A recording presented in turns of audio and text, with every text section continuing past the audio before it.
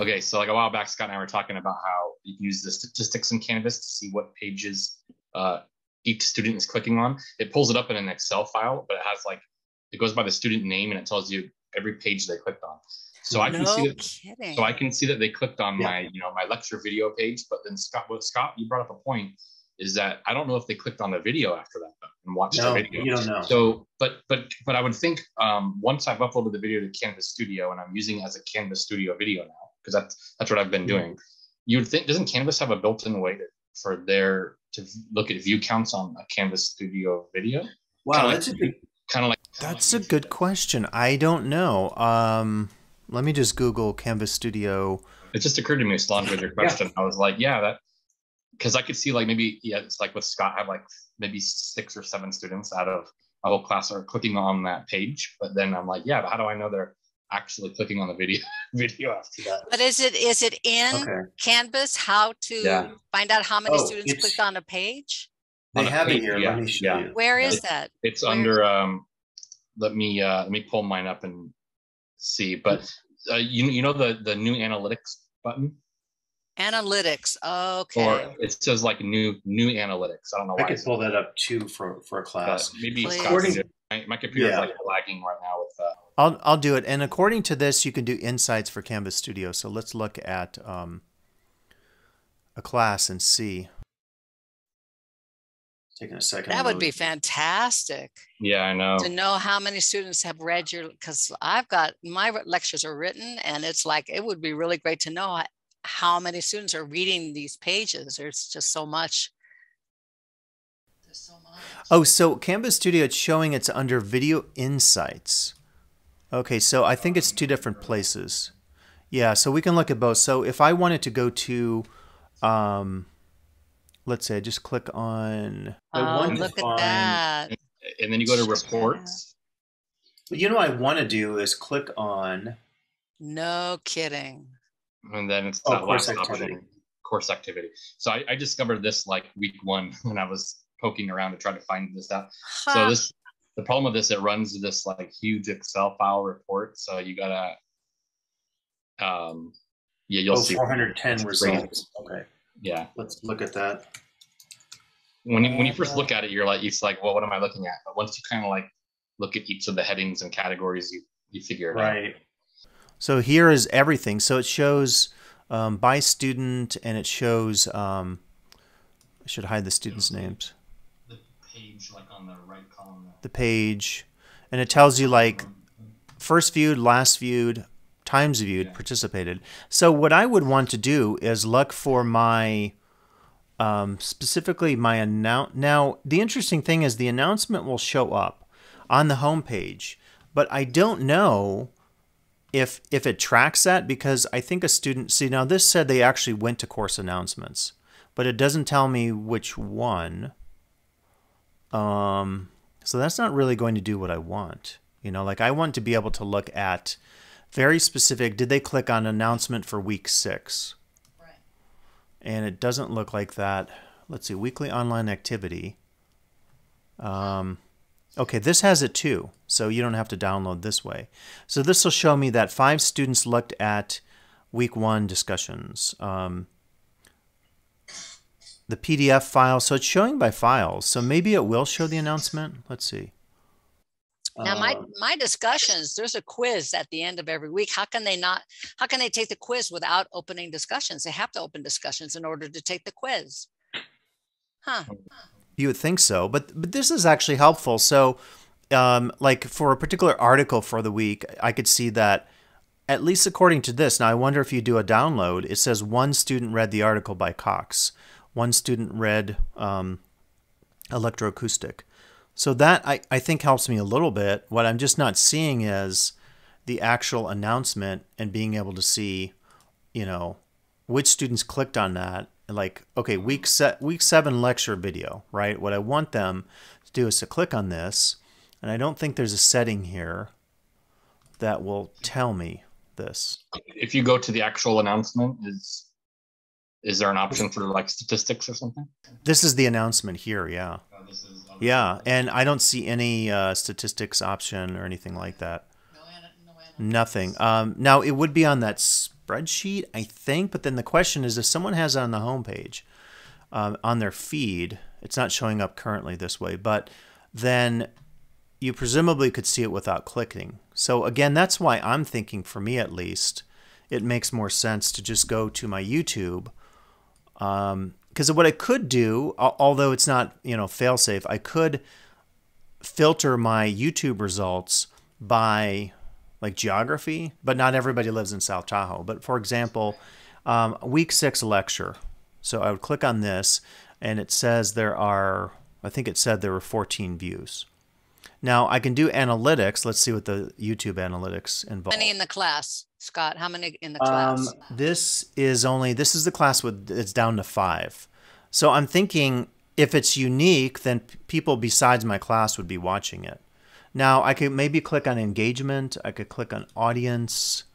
Um, you can dial down like on geography. So if I get any, for example, from the UK, I'm going to know, well, that's no one in my class. But um, for some reason, it's not showing.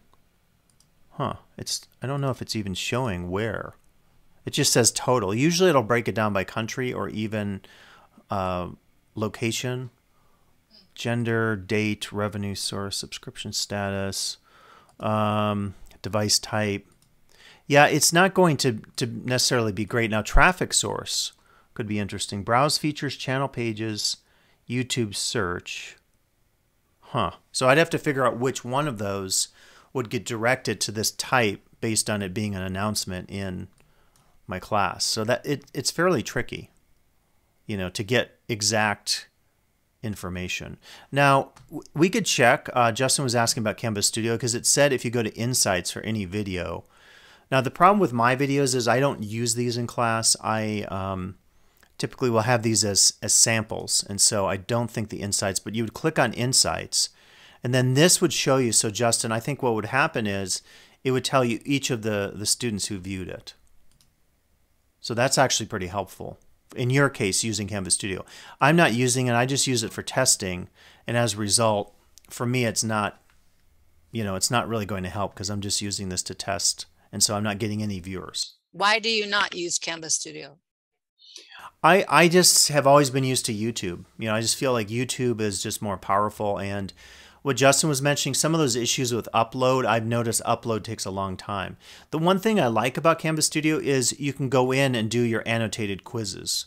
That's really cool. You can't do that on YouTube. So I probably would use it for that. I like that you can do the comments and then students can go in and write comments and annotate at particular points. So that part I actually li like quite a bit. Yeah, thanks for that. I'm uh, I'm yeah. logging in now, but it's just taking a while. Yeah, no, that's okay. Um, but yeah, maybe, I'll, I'll, I'll look now or I'll look later. But uh, okay, cool. you want to do the teaching talk, I don't want to take away from the teaching. Oh yeah, yeah. Let's. I'll let me just jump onto the topics and then we we can talk some more. So uh, for Teaching Talk 57, we'll just talk today about two different topics. Uh, first, the value of a class navigation video, and then secondly, we'll discuss student conduct more as a way of just checking in to see how your classes are going. So if any of you need this handout, and let me put it in the chat right now, I meant to do that. Um, if anyone who's watching this after the fact wants to get this handout, just let me know and I'll share it with you. So a class navigation video is really what it sounds like. It's a way to introduce your class to your students. Now that we're close towards the end of fall quarter, we're probably thinking about this for winter quarter. Uh, I've redone how I've approached the naviga- navigation video this quarter, and I, I like the results. Again, we're just talking here about how we can tell whether students are watching our Canvas Studio or YouTube videos, but um, that's, that's cer- certainly something to assess. Now, the navigation video that I do has all of the, the basics of the class. So I cover the syllabus and all my policies, including late assignment policies, deadlines. I talk about assignments.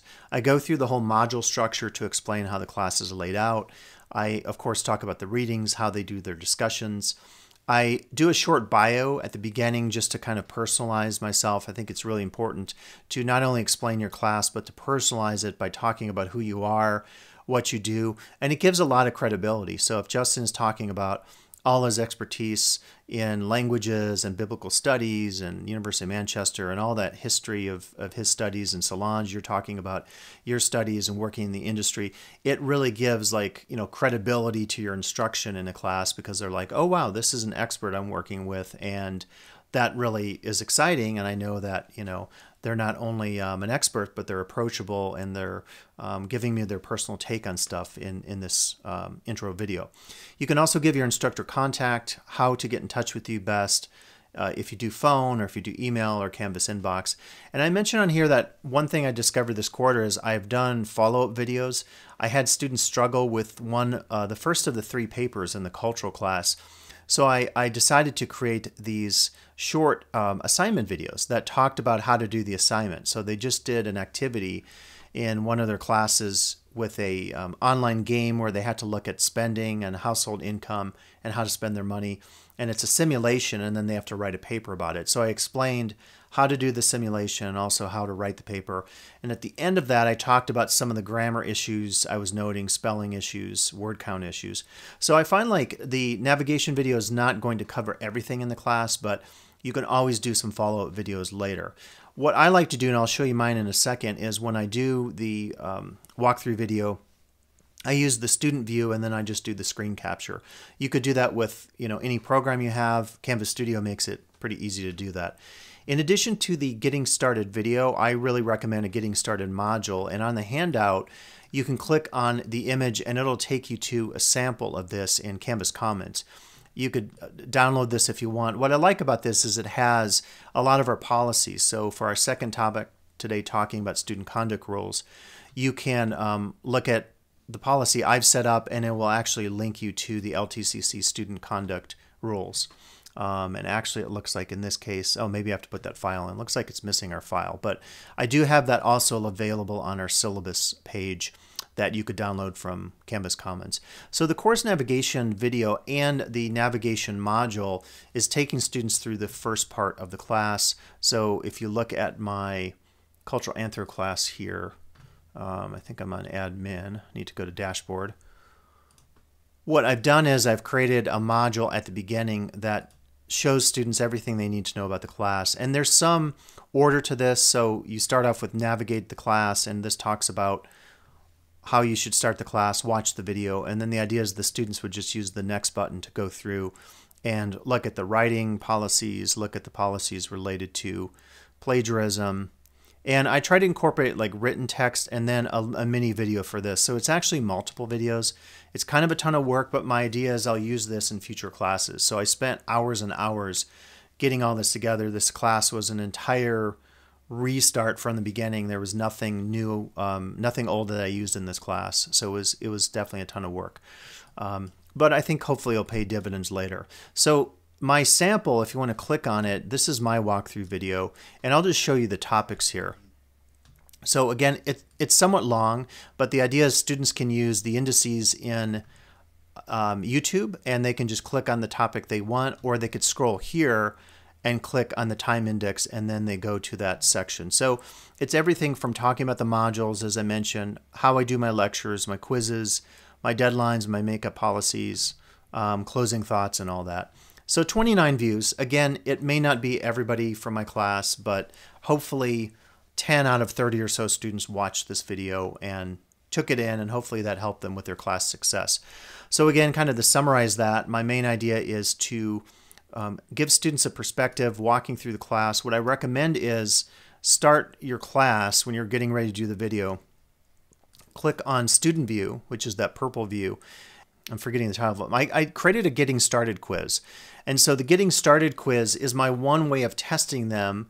According to the guidelines in writing, the voice you're writing should be first person, second person, third person in the style that you see fit. And so the idea is that they could complete this quiz and then hopefully they're encouraged to look at all the areas. And what I try to do is to make sure that every area of my policy module, my getting started module, which is also covered in the getting started video, that all of these get covered with at least one question in the getting started quiz. So hopefully they're doing it also because they're they're getting quizzed on it. Are you um, are you doing different videos for different elements of your syllabus? And putting them into a get started module, all, all different Yeah. types, different videos for different Yeah. parts of your syllabus instead of all one video. Yeah, so I'm doing both. So I'm doing the big, um, the one I just showed you here, which is the course navigation. So that's start to finish, walking the students through the class. And then I'm also doing what you're saying is I'm doing a separate video just on, say, their discussions. And that video, I'm trying to remember how long that is. It's it's definitely shorter than the the main video. Um, but so it's kind of redundancy. So it's it's like you get it in this section, and you also get it in the um, getting started video. Now, Justin, you do. Yeah, go ahead, Solange. Yeah. Well, I was just going to say what I've done in my class, I've kept it really simple where I have the Yeah. syllabus with all of the elements that you have on the screen. I have Mm-hmm. all of the elements, but n- my intro video is basically about me and what to expect in the class. So it's not great, that yeah. long. But then every single week, week, the very beginning of the week, the very first page is a video of me Yeah. talking about that week. So I I've do done that too. 12 videos plus 13. Yep. Okay. I do the same thing. So I do my lecture videos as well. And the thing is, in the lecture video, I end up doing a- a lot of repetition. So I talk about the content, but then at the beginning, like I talk about here's the class format. So I'm, I'm discussing it for a third time. Here are the themes, here are the readings, here's the media. I didn't really do the jam boards, they didn't work. But I talk about this just to reiterate the content to say, okay, make sure you you um, are doing things correctly make sure you watch my videos and so forth so yeah i'm doing a, a, a weekly video as well in addition to all those intro videos So yeah, Uh, you got all Justin- your bases covered. Yeah. yeah. Now, Justin, what are you doing again? You're doing. Um, you do a navigation video, right? Yeah, so I, um, uh, you know, I finally got kind of access to Canvas, uh, Mhm. like with, with maybe a couple, two, three weeks before the term started. Um, so yeah, Scott helped me. Um, he gave me his. I think you gave me access to your anthropology. Yeah, the class. So- Yeah, So right. I, so I, I largely cannibalized. Uh, Oh, that's cool. Stuff you were doing. So yeah, I created a navigation Yeah. video. Um, like all my headings for my the week before my first week, the sort of introduction to the class week. I pretty much used the same headings. I used a lot of your verbiage. I I tweaked it uh, based upon stuff I saw like in the syllabus snippets file that we have, and Yeah. so I mean I didn't completely you know it wasn't copy paste, but um, I you largely used that, and I did I did that, and I found it really helpful. One thing that I need I, I want to do for my next class, which um, you mentioned with the personalized bio, and Solange Mhm. that she does this, is I want I need to do that because I in my navigation video I just jump right into the course, and it was always in the back of my mind like oh maybe I should have kind of like introduced myself a bit more and you know oh, you totally should. Yeah. yeah, and and I just didn't do it because the video was already like uh, about an hour long. It was because I was kind of going through the syllabus. Yeah. yeah. So I was like, oh, it would have been even longer. So I didn't do that, but I regret it. Um, so I definitely want to do that. I did. I did Yeah. introduce myself a little bit, and um, I had like a introduce yourself discussion post that everyone had to do. And so, um, so I said I'll go first, and I kind of like introduced myself there and had a photo of myself. So that was my means of doing the personalized bio. But yeah, I think I'm gonna re-record a new one for you know next the other classes I'm gonna be teaching. Yeah. Yeah. and I'm definitely gonna like start off with that um, and do that. But yeah, I basically did what you did. So Oh, that's great. Yeah. Um, Justin, would it be um, easier on the students if your if your um, navigation video instead of being an hour long, what if you did it in sections instead of having one big video? Do it in small you could. sections. yeah, so I, I also thought about that too after it because like Scott, you said you had your navigation video, and I, I noticed that you also had your individual videos Yeah. for like you know academic dishonesty and plagiarism you had a video or like writing guidelines you had it. so when i saw that i um, i thought about doing that so i might do that Solange, actually going forward is Yeah. like you said rather than just one whole video i just do like a separate video for each um like one on the syllabus kind of and then one on Mhm. writing guidelines one on plagiarism so on and so forth I and would then say each, and then whatever each of be like 10 15 minutes or something i'll, I'll Yeah. probably yeah that's a good idea Yeah. whatever works i don't you know i, I don't know. I, I i don't hear anything definitive as far as will students watch. I think there's a theory here at the college a lot. People say well if videos are too long then um, you know students won't watch them. And I'm kind of like, but then do you not assign um, the Odyssey? Do you not assign the Iliad or or you know remembrance of things past? Like like uh, like do you not assign long books? So I don't know if there's any rhyme or reason to this as far as a short versus a long video. I would personally say do what works for you, and then guide your students appropriately. So I again I think if I have a quiz on this, I will get some views. So if I if I drop the quiz out, if I just eliminated that for the next time I don't think very many people would watch it, whether it's five minutes or 30 minutes or an hour. So, but that's just my guess. I again, I don't know. I know people are very particular about the length of videos. I love long movies. I love slow movies. I love 2001. That's like a 3-hour movie. So, I don't buy the thing that I hear from colleagues at the college that, you know, if videos are too long they won't watch them. But but do what works best for you, I guess is what I would say. Yeah. Solange. I as a I I as if I were a student, if it's longer than 20 minutes, I'm not going to watch it. Mm-hmm. If it's if it's uh, too much reading, I'm not going to read it. Right, right. There is that. Uh, yeah, it could be if the assignment takes too long, if the assignment um, takes more than an hour, or if the text is too long. Yeah, no, I totally get that. Um, and that's just something we com- we deal with. I was going to say we combat, we try to, I guess, but I think we deal with that regardless of what we're um, teaching. Now, you can refer to that the so-called Carnegie unit to say like a certain number of hours outside of class are required each week, because I think students do sometimes complain. I did get a few students this quarter who had some issues with sports and so forth, and I did give a few makeups. I felt like okay, I checked the soccer schedule; it was legit, but what I responded to, kind of as we talk about our sec- second topic today, student behavior, was they said, you know, you know your um, soccer schedule ahead of time. You've got to plan better. We're not meeting in person. Whether you need to do this on Sunday night or Tuesday morning at 5 a.m., you need to do it. And I said, I won't make an accommodation for you the next time because being a student athlete means that you are um, required to balance athletics and academics. And I sometimes think we forget the academic side of things and we say, well, there's an accommodation, but it's also like they need to plan ahead because you have seven days in a week. And if you can't figure your schedule out in such a way to do, finish your assignment, then maybe you can't do athletics and sports. Uh, you know, athletics and sports and academics at the same time. You know, and of course they have to maintain certain GPA and certain you know class enrollment requirements. But Solange, I think what you're talking about is always, you know, an issue, just the motivation and whether it's a video or a long reading, we're always challenged, I think, to get students to, um, you no, know, I, put in I the think time. it's I think it's the new generation too. I mean, Yeah, yeah, with yeah. TikTok and you know, and, and Yeah, Instagram and everything. Everybody wants Yeah. instant satisfaction. So it's it's Yeah. a new it's a new world.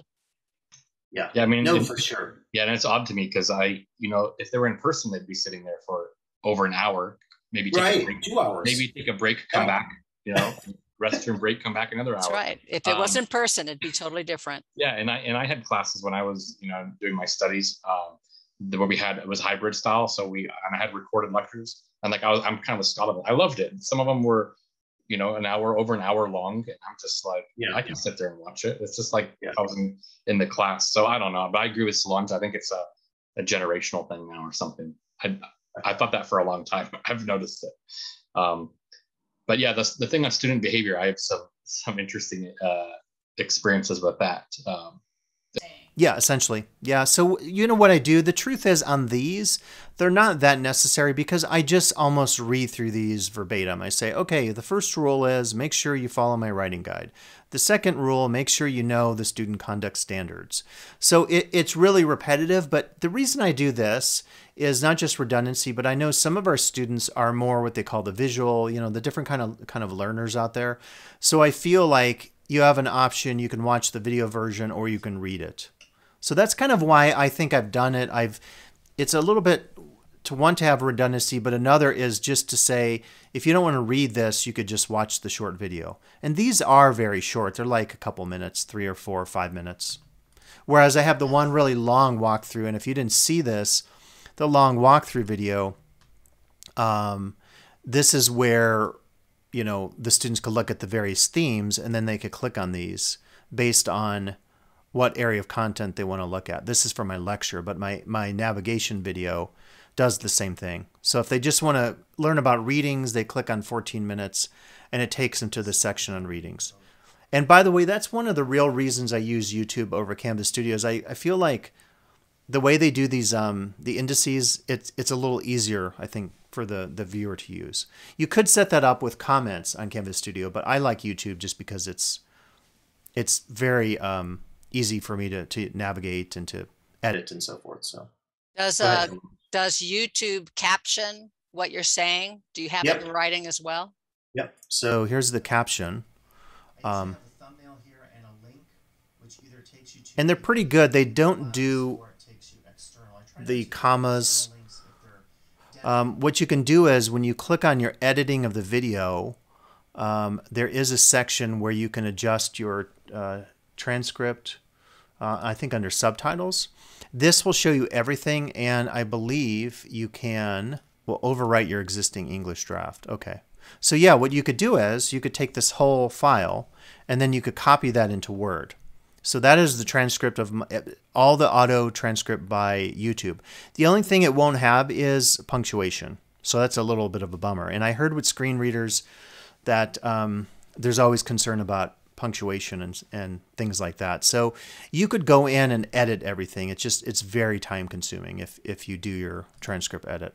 And they don't get proper names. Like if there's any name of a person like Malinowski, it may not have Malinowski capitalized or something. Yeah. So that's the transcript. Now I'm going to discard changes. Hopefully it still will do the, is that what you're talking about, Solange, the, the captions? Okay, cool. Yeah, so those yes. are the captions. Hopefully they're still there. Let's see. They're still there. Okay. Um, so let me mention, um, and I'm going to keep it. There's a reason I never use that app specific screen sharing because I always forget and then people watching don't get to see the information. But so the second part of today is just talking about student conduct as a way of a check-in. If you want to watch previous videos on student conduct, just click on the handout and there's a whole one pager that has everything ranging from talking about nurturing to plagiarism, um, class writing. I thought that was a very good one when we talked about challenges with writing, uh, teaching in social media, key concepts, race, virtual engagement. So check out that if you want our previous uh, teaching lectures or talks on that subject. Again, go to our syllabus page in Canvas Commons, and if you do that, you'll find uh, um, our plagiarism policy, which you can download and use as a a preset page. Also our student behavior policy, which is really, really extensive. But again, I recommend you should put this in 100% of your classes as Solange and others of us know. If you deal with student issues, having all of your policies, including that student behavior policy in your class is a basic level of backup or foundation that you need. If there's ever a complaint that happens through our processes of expulsion or suspension, if you don't have that in there, um, you probably would be covered under the catalog policy, but I really recommend it. A, that being in there, and B, doing something like a lot of us do, which is to have a very specific discussion policy or student behavior policy. Student conduct rules is what I call it. And then this way, it's emphasized also in your syllabus. And again, I'm linking to all of our policies. I discuss again what is slanderous language. I give an example because I, I, I learn of new situations.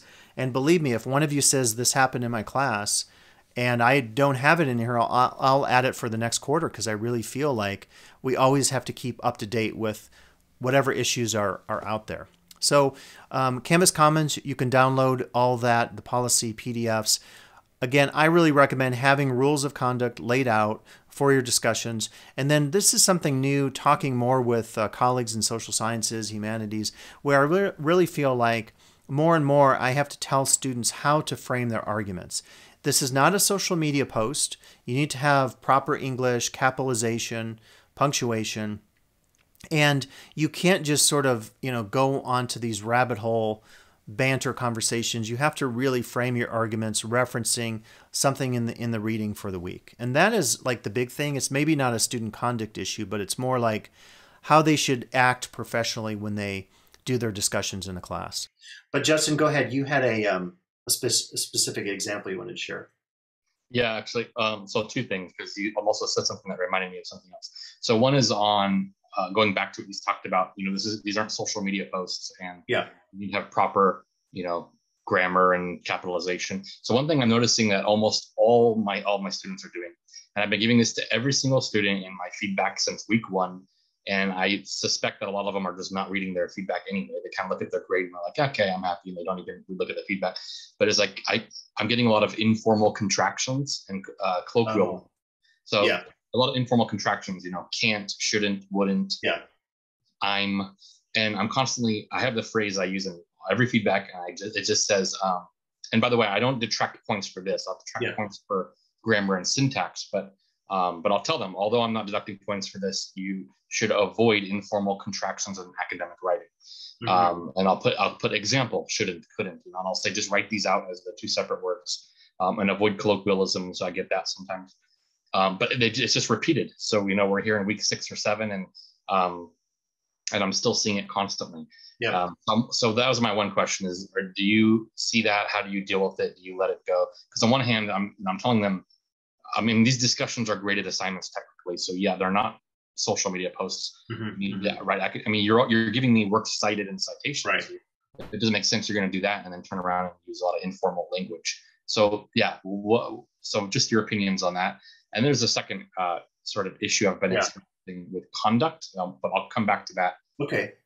Yeah, you know, I wa- I was looking at mine, and I think what you do is totally fine. Like uh, mine, I talk about the word count, spell check, and grammar. I say, this is not an English class. Demonstrate good writing form, and then I take them to this link of, um, you know, writing conventions for college students, um, spelling, punctuation, capitalization. So it it it's fairly straightforward. I think whatever works for your class. Like I say, specific to the voice of your writing, you could use third person, you can use first.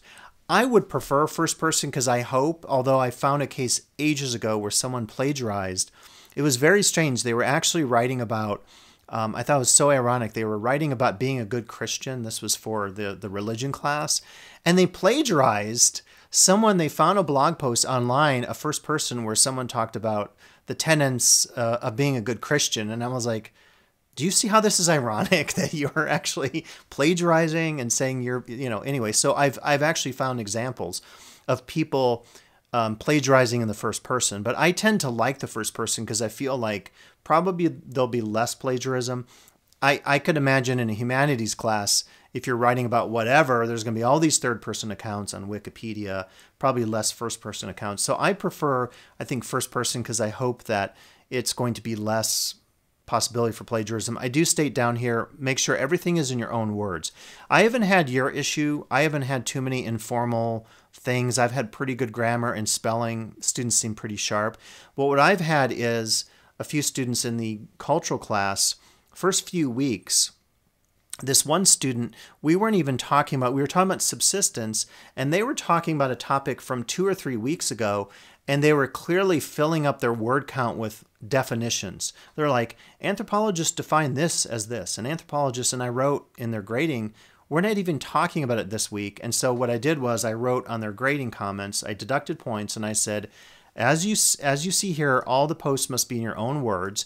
And then I did a second announcement because I felt like this this was coming up with two or three students where I said, I do not want you to regurgitate definitions for your discussion posts. I want you to give your interpretations and your views on the right on the issues that we're considering. So I think it's perfectly fine. However you define it for your class, what I would recommend is you know do the follow-ups and maybe if it's two or three students like i discovered with the repetition of definitions to eat up their word count then i think it warrants an announcement where you say to the whole class as a reminder please don't use contractions or make sure you write it using academic language. And then hopefully that kind of repetition will help with with that.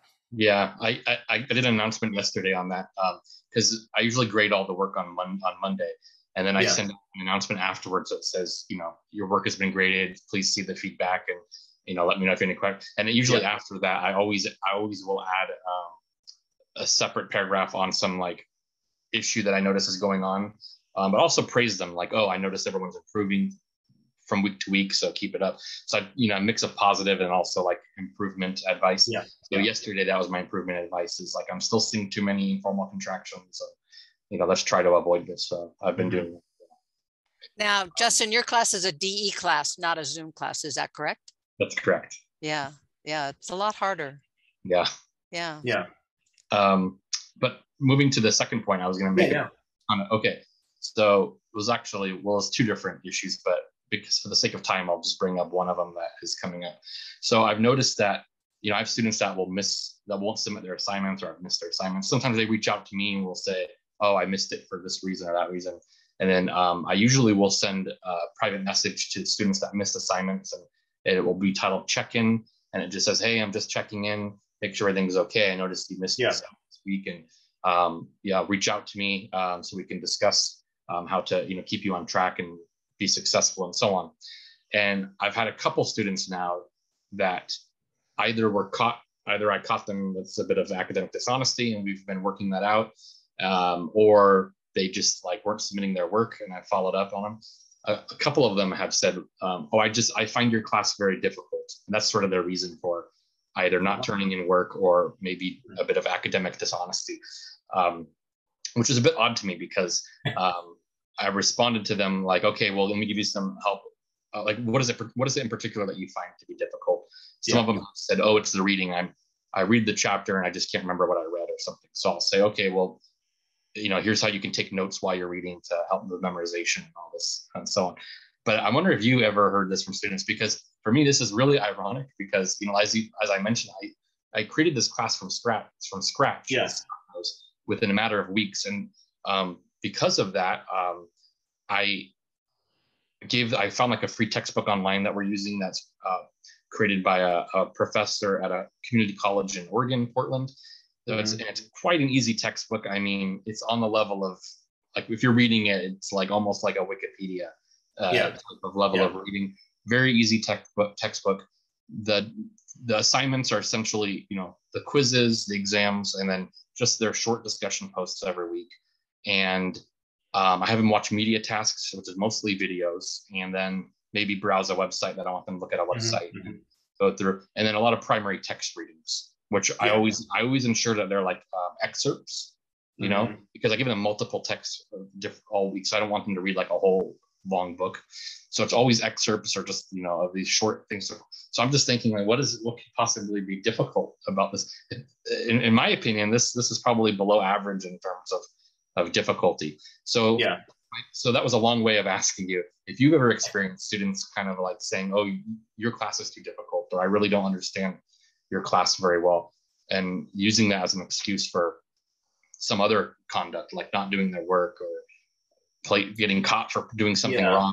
I don't know. I've just this has happened from like uh, two students, maybe three so far, and so I'm really curious. But I have students that have like 95% in the class right now, and Yeah, you know, yeah. 89%, and I'm like, well, a lot of students are doing quite well, so I'm not sure.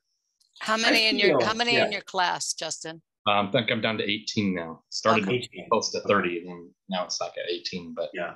um, yeah, most of them are A's and B's, a handful of C's, Yeah. and then some that are like on the D mark or under. Yeah. Um, but those are the ones that are giving me that, you know, that excuse of oh, oh, this is too difficult. I don't understand your class.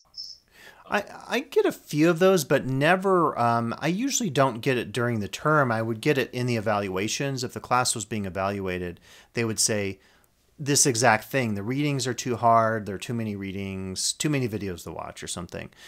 Right now, what I'm getting more of is just the one off. Like, um, I had a, a student in, in one of my classes, and she seemed really concerned about um, one of the discussion topics about the family. It touched close to home and said, Oh, I, I couldn't do my second discussion. It was so personal to me. I'm really stressed. So I wrote on it, and said, Okay, how can I help you? Do you want, we have mental health services on campus. We're starting this new mental health club, Active Minds. I was like, How can I help you? How can, and it's exactly what happened with one of Justin's students. Just fell off the face of the earth, and I never heard back from the student again. So now I'm like, huh, do I follow up with a counselor?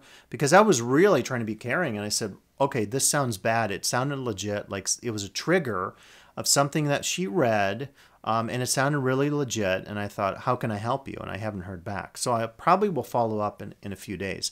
And then I just got another one, a student saying, my life has been crazy this week. And, um, and I, and it sounded like maybe she was pre kind of setting up like an excuse, but I, I have to go and check and see if she did her discussions. Sometimes students will write to me and just say, you know, I didn't do a good job this week, but um, I, I did what I could and I'm just letting you know, kind of as a an apology or something. But I, I have very few during the quarter that say um, it's too much reading. Instead, I think those students probably just don't keep up with things and they start to fail the class. It's surprising that, in a sense, it's good they're being honest, but then it's like maybe the response could be like, well, you know, do you need to sit down and talk with your counselor? Because if you're taking uh, multiple classes, if you're taking anatomy and physiology or art history, I guarantee it's way more reading than they're doing for their humanities, for their DMA or their anthro combined. I mean, some of those A and P classes, you have to do so much memorization. Art history, the the books are this thick, so it's kind of surprising that they're complaining about this because I'm sure they have much more reading in other classes. I feel the same way about mine. Like my class is too easy, but yet students fail. So yeah. Um, how do you how do the students download lectures? Lectures or um, readings. Readings. So for readings, they could do it um, a number of different ways. They could download it from the files tab. They can um, they're, I think they're not linked on the syllabus, but the best way would be to go to the discussions. Um, and I'll show you one here, like week six discussion. Um, I think they're under modules too. Yeah. Yeah, I was going to say my readings are in the module. Yeah, right here. So they would just click the download button. Yeah, and it's very specific. Again, for students who want to do homemade instruments, they could read all these. If they just want to focus on um, music and sound, they could you know click on these. They're also in the modules too. Yeah, um, under under readings. Yeah, I have them in multiple places. Yep. So right here. Yeah, and they could also just click on it and uh, open it in the browser too. It'll appear in the browser. Yeah. And then they can copy it off the browser. Yep. They could either read it there. They could um, they could download the whole thing, or they could um, go to files. So there's like three or four places they could do it. Yeah. Okay. Um, okay. If you're using an open source textbook in my cultural class, what's what's kind of nice is the book is available in all the electronic formats. So um, you could click on the reading for that week, and then you could go to the main page this is published by the American Anthropological Association. And then you can choose all these different formats read online, download chapters, order print version, download entire book. So that that's kind of nice because then they can choose the format. So, yeah. Okay. Um, my other question was regarding students, and now I forgot what it was. What were we talking about earlier, Justin? Um, about readings, oh, complaining about, about talking about the class being like too difficult, too hard. Oh. Okay. Do you spend time with your students during office hours, or do you offer your time to be able to work with your students online? Oh, interesting. What, what the second part of your question? So to answer it, uh, office hours, but what do you mean work with them online? Like help help them work through the material or what do you mean? Yeah, I have students who have classes during my office hours. And so I offer them my services like at night, like for, you know, a half hour oh. or something like that. I give them the opportunity to um, get online with me to work on these projects. I'm a mm-hmm. project based class. Yeah. Mm-hmm. Yeah. So, yeah, my class isn't project based. It's um, so I, that, so I wouldn't, I haven't mentioned like working with them through the material but I do um, every week have my office hours, and I'm very clear on. I have the same verbiage I use on every announcement about it, um, which I send out twice, three times a week. That um, that first I've rotated days of the week to so if, if students have other classes, they can maybe come to another another day. But I also have the verbiage that if you cannot make the office hours, then uh, please arrange a one-to-one Zoom meeting with me at a okay. time convenient for you. Yeah, mm-hmm. so I've had a few take me up on that, but um, uh, yeah, by and large, a lot of students just don't come. To, right now, yeah. I know of a I know of an instructor who actually has a requirement in her DE class. They are required to do a Zoom meeting with her. What are your thoughts about that, Dr. Scott? Well, we've been told that even if it's an Eve and you're supposed to do Zoom, or if it's DE and you have the required Zoom meeting, we're, we're told that you should have um, a makeup opportunity. So, what I tried to do in my class this quarter didn't work. I had two students in each of the Zooms I did. I said, if you don't want to do your week one discussions as text, log on for 45 minutes, participate in the Zoom, and I'll give you the credit for. So, it was like one or the other. So, I, I've heard that we're not supposed to, according to the Chancellor's Office, have a required Zoom because during COVID, a lot of work schedules are up in the air. And so you're supposed to have a makeup opportunity for that Zoom. So I think you could say, I want you to do the Zoom. But then the backup is if you can't, you can do the discussion board and still get full credit. This is what I've heard from the administration that you're not supposed to do totally 100% required Zoom. So, yeah, and that, that makes sense for DE classes because the Yeah. kind of point is that, like, Yeah. you know, um, is that you're you can't be available for a specific time, and so you do it at your own pace at your own Yeah. time. But Well- but I but uh, Solange, to your question, um, in the UK at the institutions I was at, all undergrads had had to have um, either one or usually two meetings with the um, lecturer of the course uh, for the whole term. Usually, like in the somewhere in the first third and somewhere in the last third of the of the term, um, and they called it a tutorial. Um, but usually, the way the tutorial was also done was was oftentimes um, around a, an essay assignment. So okay. they would they would have to meet with you with, to give you their outline and to go over what their plan was for their essay. But a- as part of that, it was also to talk about like how you're doing in the class and clarify any questions and so on. So that was like a mandatory. Well, mandatory. We used the word compulsory. It was a compulsory uh, tutor session. Uh, I like the verbiage. Yeah, it was a tutor session. Uh, it was compulsory. Um, but yeah, whether or not, and that was in person. I was when I was teaching in person. But we also, when I was teaching online, I had to do it via Zoom. Um, But that was a bit different. Those were like that was more like the EVE classes we have here, where Yeah. we would have um, our lecture was a scheduled like Wednesdays at a certain time, and it was a live Zoom lecture. So those were not fully online, and I guess that's why we we were able to say you have a mandatory, you know, meeting. But um, Yeah. for the fully online, I could see why that why we couldn't really push that. Yeah. I just feel that some of my students are intimidated by meeting with their professor online. They, I had Yeah. a student today who was, who was so afraid of her Zoom meeting today was my office hours. And she was so afraid, but after a while, she warmed up quite a bit. But she was very intimidated by meeting with me online. And I want to meet all of my students online. And I've Mhm. not quite figured out how to do that yet. Yeah, no, I agree. It, Hard.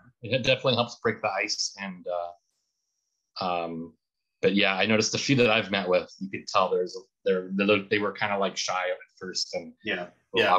so, so I was, the first thing I say when they come on the camera, this is my first time seeing them, is like, is before the meeting, I would go refresh my memory of their introduce yourself post. So I would Mhm. say, oh, so you work over at this place, or so you're, you know, you're interested in this hobby or sport, and tell me a little bit about that Yeah. And ask them, oh, so you're full time or part time, and what other classes are you taking? And by that time, usually then it's they're good to go, and I can say, okay, now let's talk about this academic dishonesty.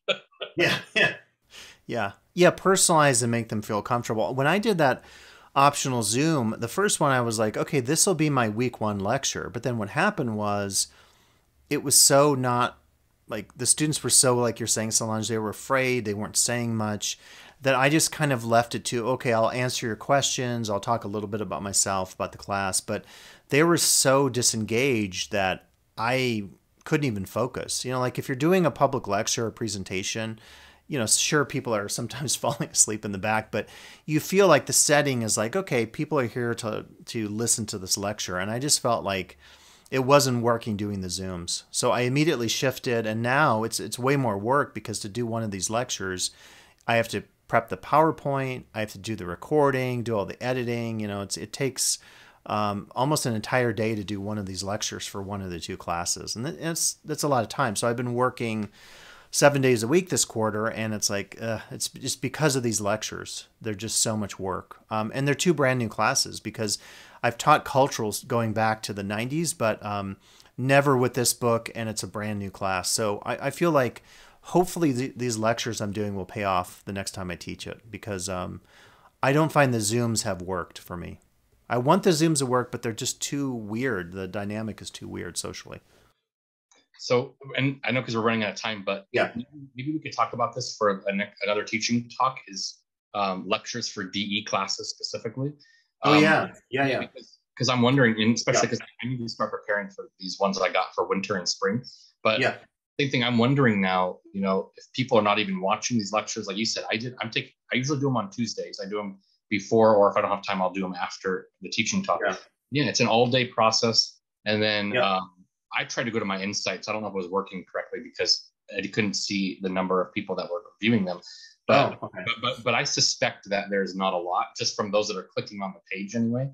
So because of that, um, I guess I guess going into this DE class being new at Tahoe, I thought like it was almost like mandatory, like you have to have a lecture of some sort. And, and I come from the UK with my education, so it's like that's what you do. You do a lecture. So, but hearing from you that like you know, you don't even do them for some classes, or like Solange has the written lectures and stuff. So now I'm wondering like maybe this isn't the best method and use of my time for um, for content for them. Mhm. But at the same time, I feel like something's missing if I just tell them, oh, here, do all these readings and media tasks and do your assignments. Um, Mhm. I almost felt like I'm, if I can be candid, like I'm not doing my job in some way because Yeah. I'm not giving them Yeah. a lecture. But then, like Solange says, yeah, these videos are, if they're over like 20 minutes, these students aren't going to want to watch them. And I have some that are like 30, 40 minutes, and I feel like students Yeah. probably still are like, that's too long. And I'm not going to watch it. So anyway, so yeah, I'm just wondering, and I'm kind of committed now, so I don't want to stop doing lectures midway through Yeah. this. So I'm going to finish it off, but um, but going forward, I kind of want to figure it out sooner than later. So as I start building these next classes, my D class, I can decide like, am I just going to do something different? Yeah, I I feel the same way like you do. I feel like if we don't have something that guides students through, but again, like Solange is doing, it could be an online practical tutorial.